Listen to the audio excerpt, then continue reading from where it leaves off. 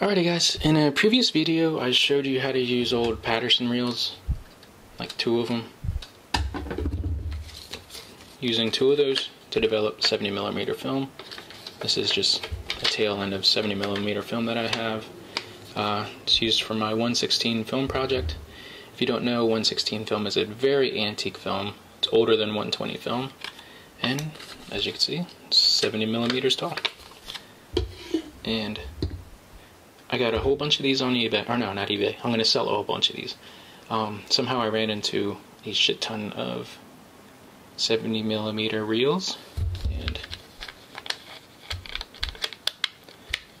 quite simple. That's how you load it. That's it. And I got it backwards. Always cut the corners off.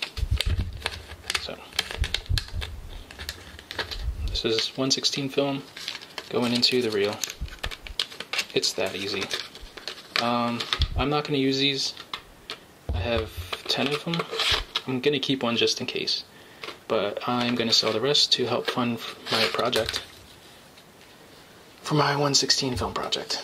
So, if you guys really want some of these, I'll put the link on my blog or eBay or something. Or you, or you can message me. Uh, I was going to use these, but I don't have a film tank big enough for this, and I really don't want to take the time to build a film tank. Uh, I mean, if I really wanted to, I could just like use a Dremel and cut the rest of these excess reels off, like from here down. Make a small one about as big as the Paterson reel, so that I can develop in my Paterson tank. But look how big this is. So I know a lot of people have uh, 70 millimeter cassettes. Let me see if I can grab one real quick. So, yeah, I have one right here. Um, this reel was really these. I think this is like 8, 10, 15 feet. I don't know. But, yeah. So, these reels meant for these. One of these days, one of these days I'll get be able to use it.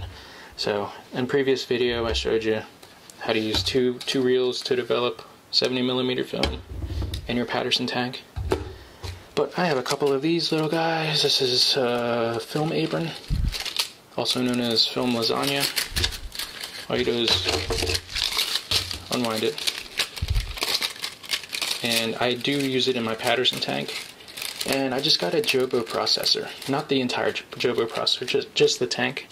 So, so here's my uni tank from Jobo. Comes with a lid, but lid's somewhere on the floor. I can't reach it. So, say this is your film in the dark. All you do, just shove it in there. That's it. And then you start like that. And in the dark, you just want to keep both fingers like this. And that's it. So you keep going. And this is the most simplest way to develop film. I don't know why. Oh, I know why these aprons aren't used anymore. Uh, they're not as consistent as a reel. But as long as you keep it loose, imagine how easy that is to do in the dark especially for these larger format films. Um, because the 116 is so big, it's I find it hard to use the Paterson reels in the dark. This is a lot easier. Here's my Jobo tank. And all I do is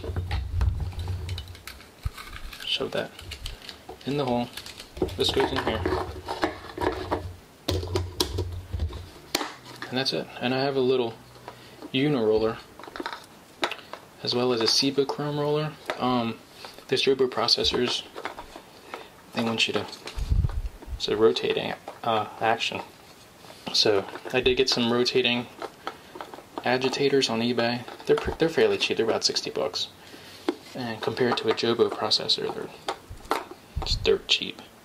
But um, yeah. So that's how I develop 70 millimeter film now I do have 10 of these guys available to purchase. I might just throw them in eBay sometime this week. Um, but I will send a message to all of my photo friends that are on YouTube. You guys might want one of these. I'll hold a couple for you.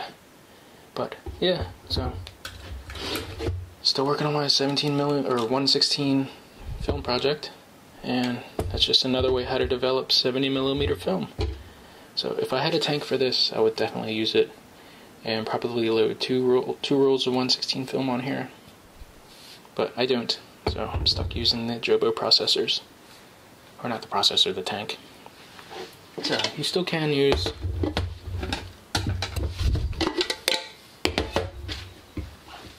the uh, Paterson reels with the. I'm making a mess over here. Film apron.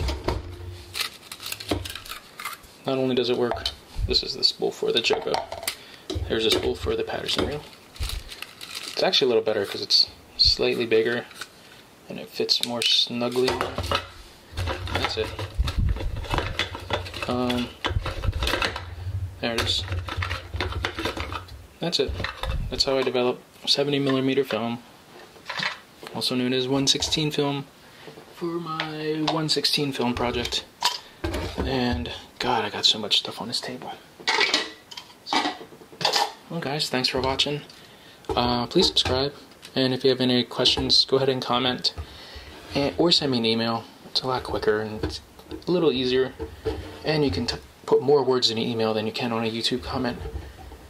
So, uh, well, thanks for watching. Again, subscribe. Send me an email if you have long ass questions. But, anyways, uh, once I hit the 100 subscriber mark, I am going to give away something. So, keep that in mind. But, guys, thanks for watching.